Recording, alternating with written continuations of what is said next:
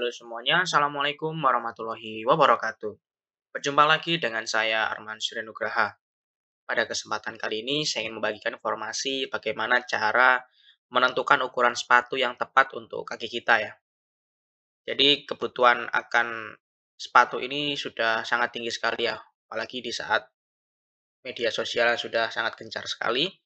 Tentu saja penampilan itu menjadi nomor satu saat ini, dan salah satunya memilih sepatu yang eye catching ya. Jadi ketika orang melihat tuh langsung melirik pada sepatu kita. Dan ini ada salah satu tips untuk menentukan ukuran sepatu yang cocok untuk kaki kita. Yang pertama kita bisa mengukur kaki di rumah, bisa menyediakan selembar kertas dan ada sebuah selotip. Kemudian eh, menginjak kertas tersebut dan kita mau menggambar polanya. Dan kemudian membentuk eh, kotak ya, agar mudah untuk diukur nantinya. Biar simetris. Lalu diukur ujung kaki yang paling paling depan dan di, diukur juga ujung kaki paling belakang. Jadi gunanya garis tadi supaya bisa sejajar ya. Kemudian diukur untuk panjang kali lebarnya. Dan kemudian diperkirakan uh, beberapa inci dan kita masukkan ke tabel ya. Jadi ini ada salah satu uh, cara untuk mengukurnya. Kita ukur dari uh, paling ujung, biasanya jempol sih yang paling atas, atau jari tengah, hingga ke pangkal yang paling belakang. Kemudian eh, paling mudahnya sih kita menggunakan panjang aja ya. Untuk lebarnya nanti mungkin kita bisa eh, membeli sepatu yang ukuran di atasnya gitu. Tapi kalau ya udah panjang ini sudah tidak bisa ditoleransi lagi ya. Jadi yang biasa dikenal adalah ukuran Euro, skala Europe ini. Kalau ukuran kaki saya itu sekitar 45 dan terkadang uh, ukuran 44 ini panjangnya itu bisa ada yang 28 ya. Jadi jangan berpatokan ke ukuran euro ini. Terkadang masing masing-masing pabrikan itu memiliki uh, referensi masing-masing ya untuk panjangnya.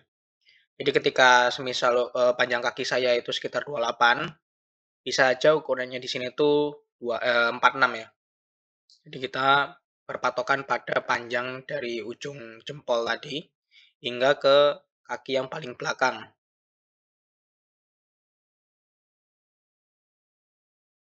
Dan kemudian ketika kita melihat sebuah sepatu, di sini mungkin uh, ada banyak sekali uh, istilahnya konversinya ya. Jadi yang euro tadi uh, ukuran 42 dan panjangnya di sini 26,5 cm ya. Jadi tidak perlu menggunakan penggaris, bisa langsung kita lihat di uh, tag atau tanda ya yang berada di belakang sini ya.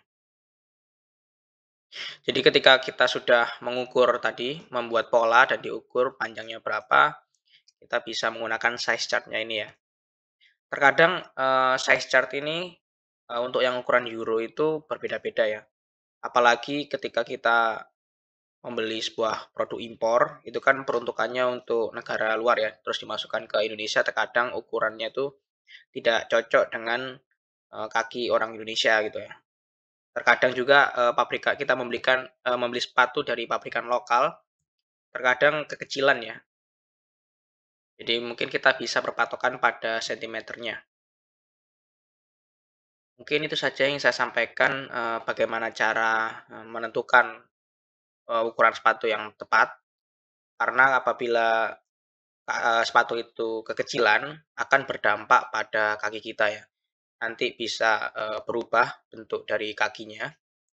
Mungkin bisa karena kaki itu kan merupakan titik tumpu dari, uh, orang yang sedang berdiri ya.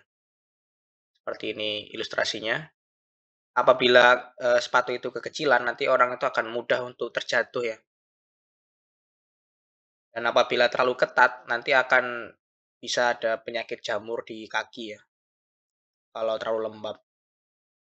Bisa aja nanti menyebabkan infeksi uh, bakteri, jamur maupun uh, virus mungkin ada juga di sini ya. Jadi itu, eee, saran saya, eee, ketika membeli sebuah sepatu, mungkin ada yang ingin didiskusikan silakan tulis di kolom komentar dan jangan lupa subscribe channel ini agar semakin berkembang. Sekian dari saya, wassalamualaikum warahmatullahi wabarakatuh.